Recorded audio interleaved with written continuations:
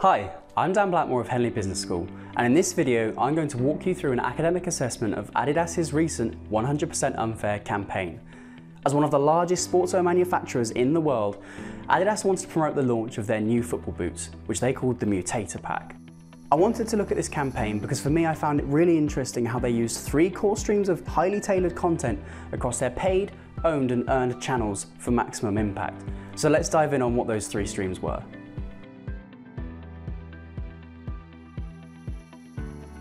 Their first stream focused on creating the base for integrated marketing communications by tailoring their owned channels to integrate product advertising. Their core message they wanted to build was that these boots were unfair.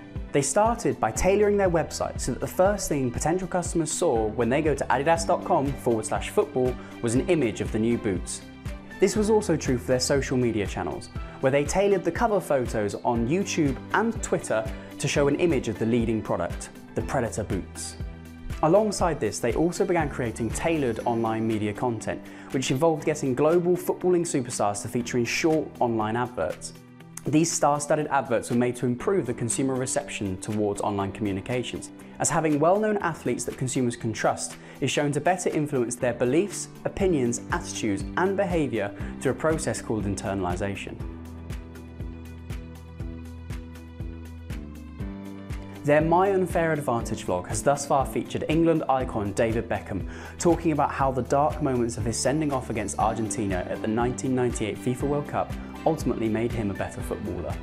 With the aim of generating traffic to the Adidas e-commerce website, this video was designed to capture the attention of their target market through the offering of purely hedonistic content.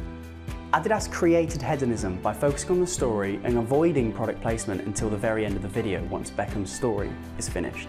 Hedonism not only helps the viewer attentiveness to online videos, but embedding the product visual just after the high arousal ending of this story was likely to have positive influences on advert perception and brand recall.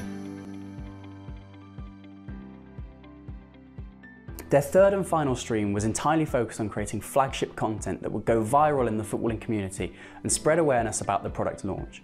A scenario-based marketing strategy, the Rent-A-Pred consumer hotline was an influencer-led campaign that allowed amateur five-a-side teams to apply to have an Adidas-sponsored player come and play for their team in a match.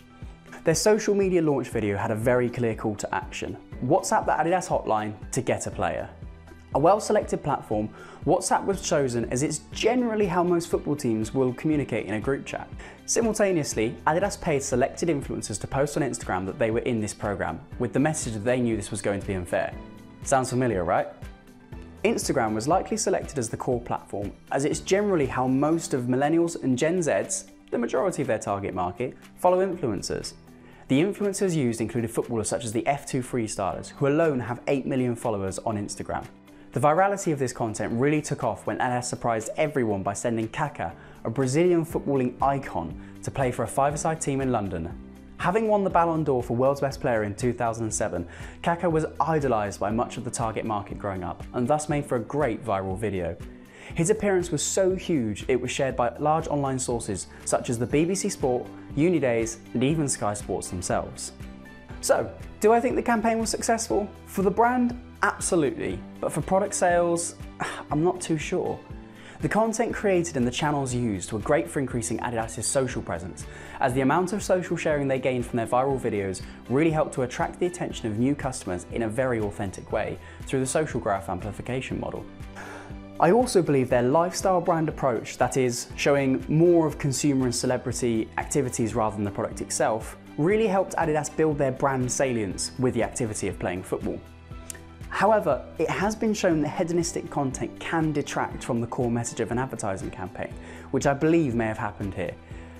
Much of their earned media channel focuses almost entirely on Kaká, with next to no mention of the product in many of these articles. So, if you were to measure the success of this campaign using the customer journey model, you could argue strong success in reach and interactions, but perhaps weaker success in action and return. In the future, I would suggest that Adidas put more emphasis earlier in their viral videos, perhaps the midway point, in order to ensure that enough attention is paid to the product if they want to boost product sales. That's it for my video today. Let me know what you thought of Adidas's 100% Unfair campaign by commenting down below. And if you liked what you saw in this video, please be sure to drop a like and share it with your friends. As for now, that's pretty much me done. See you next time.